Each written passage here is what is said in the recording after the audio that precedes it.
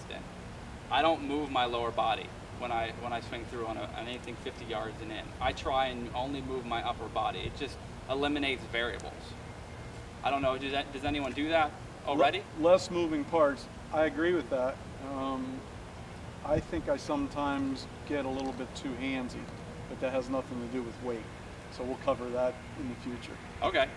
So that's that's one key. The first key being weight forward. Second key is ball position. Ball position is very important when chipping. I try to keep it middle to back. Anything forward, uh, it's a, more of a specialty shot. It's not chipping, in my opinion.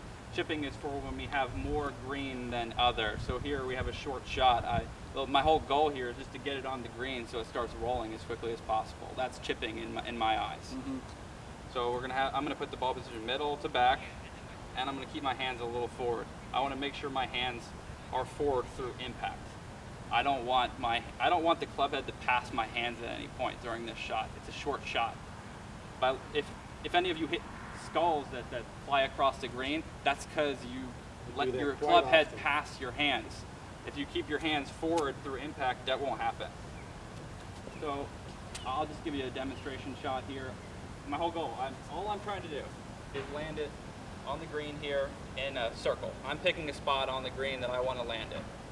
I'm not looking at the hole. When you get when you start looking at the hole, you get too focused on on that, and you start hitting shots way past the hole. All I'm trying to do is hit the green and let it roll out.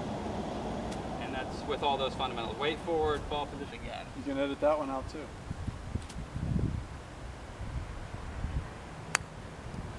A little too hard. Just about hit your spot though. a little far, to be honest with you. I want to, I only want to land right here. When you when you swing, we start with our arms first, taking the club backwards. And the, club actually works in this way. Our wrists work this way. They don't work this way. So a, golf swing essentially is just you hinging the club and turning your shoulders. If you can do that, if you can see, if you look down my line, I probably am down the line there.